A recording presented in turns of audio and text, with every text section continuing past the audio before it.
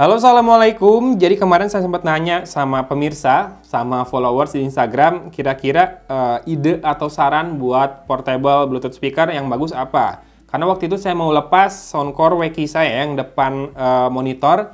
Alasannya sih karena itu harus colok listrik terus, jadi makan tempat di colokan listrik saya. Dan iya, uh, nyala terus jadinya ya, walaupun memang itu dibutuhkan buat memunculkan jamnya. Tapi karena saya pikir-pikir saya nggak butuh, saya lebih butuh yang uh, portable yang bisa pakai baterai juga. Udah saya lepas Soundcore Weki-nya dan akhirnya memutuskan buat ganti produk tapi nggak ganti brand karena memang belakang ini rada cocok nih sama Soundcore by Anchor ini. Ini beli sendiri di Tokopedia. Ya, bisa didapatkan di beberapa store di Tokopedia dengan harga yang kayaknya udah turun ya. Di sana kamu bisa dapatkan seharga Rp459.000, tapi kayaknya harga aslinya pada awalnya sekitar 900 ribuan deh. Semoga saya salah. Tapi kalau semahal itu mikir-mikir lagi ya, karena ini juga versi yang mininya, flare mini. Jadi sekarang udah ada flare yang S kalau nggak salah, dan ada flare yang biasa ya, atau flare dual. Saya lupa, tapi yang jelas ini bukan yang terbaru. Cuma kenapa saya beli? Karena pertama dia punya 360 sound. Jadi dia drivernya ada dua, ada kiri dan kanan. Jadi harusnya punya depth ya, minimalnya ada kerasa dan juga punya LED. Breathing light apa animatednya gimana saya belum tahu, tapi dia ngikutin beat suara atau beat musiknya. Dan waterproof juga walaupun sebetulnya buat penggunaan di meja kerja sih nggak butuh ya waterproof. Dan ini uh, playtime-nya sampai dengan 12 jam. Dan bisa di custom menggunakan aplikasi Soundcore. Dan ini bisa jadi TWS mode juga ya wireless stereo pairing kalau kamu punya dua. Cuma sayangnya ini masih pakai kabel micro USB karena mungkin memang keluaran lama ya, makanya harganya udah turun. Soundcore dari Anchor ini harganya memang lumayan tinggi-tinggi, tapi juga bisa dibilang harganya tidak bertahan lama. Setelah beberapa saat dia akan turun. Dan saat sudah turun itu udah jauh lebih worth the money ya. Saya juga biasanya beli TWS Anchor kalau udah turun harga kecuali yang R100 kemarin. Itu beli pas masih baru keluar karena memang harganya yang terjangkaunya.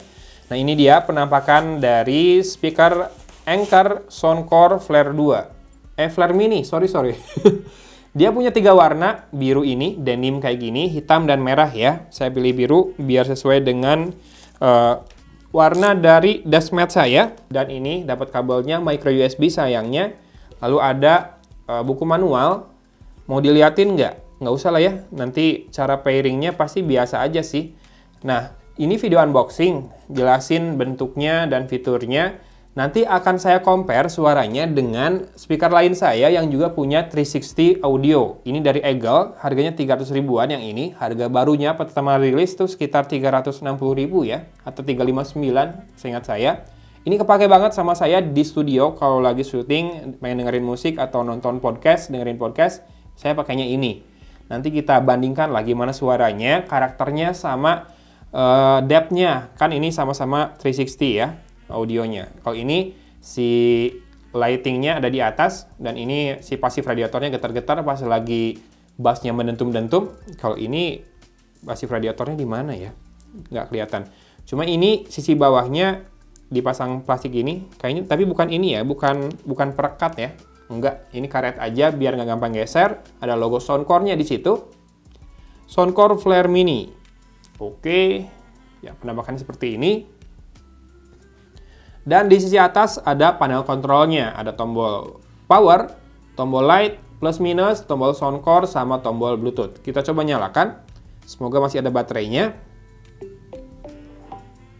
Ya, itu adalah uh, jinglenya soundcore yang sebetulnya juga ada, sebelumnya ada juga di Weki saya ya.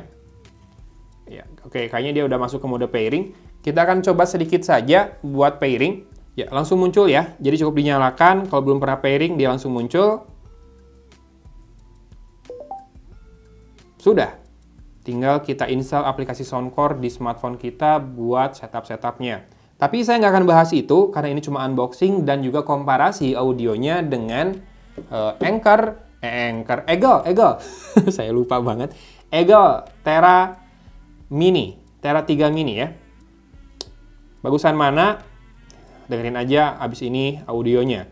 Saya nggak akan kasih komentar apa pun, jadi silakan didengarkan, tapi pastikan siapkan earphone atau headphone Anda biar kedengaran kiri dan kanannya dan juga detailnya seperti apa. Anda yang tentukan, Anda yang komen bagusan mana suaranya dan dibandingkan harganya saat ini, saat ini ya harganya ya. Kira-kira lebih worth it mana? Beli Eagle Terra 3 Mini atau Anchor Soundcore Flare Mini. Sama-sama mini, sama-sama punya LED. Bentar, saya nyalin deh biar kelihatan LED-nya atau breathing light-nya. Nah. Oh, ini lebih hore ya, yang Anchor lebih besar soalnya.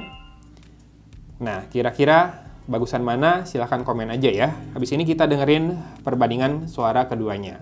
Oke, saya tutup videonya di sini kalau gitu. Dari kota Cimahi, Agun pamit undur diri. Wassalamualaikum warahmatullahi wabarakatuh. Brand Amerika, brand Cimahi. Bagusan mana? Komen-komen ya.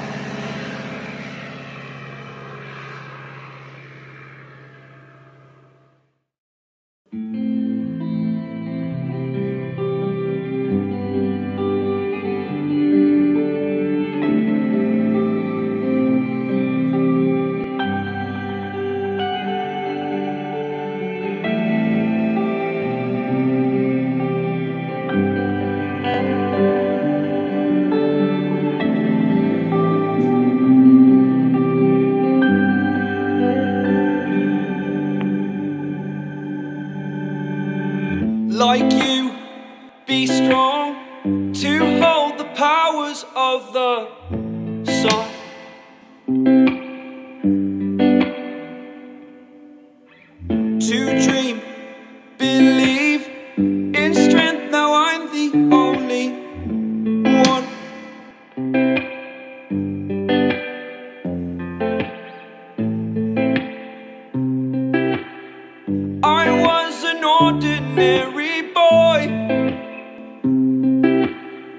Until I broke the rules. My life destroyed, life destroyed.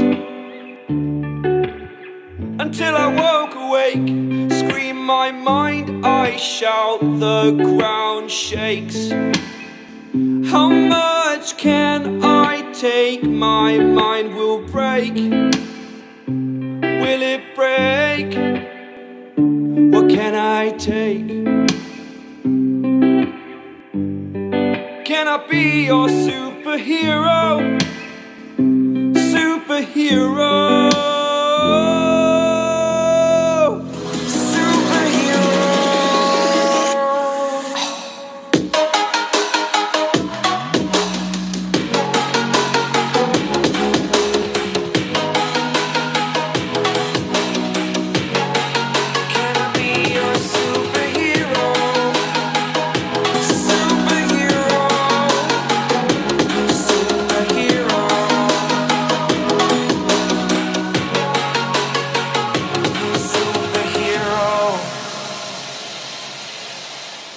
You're a superhero.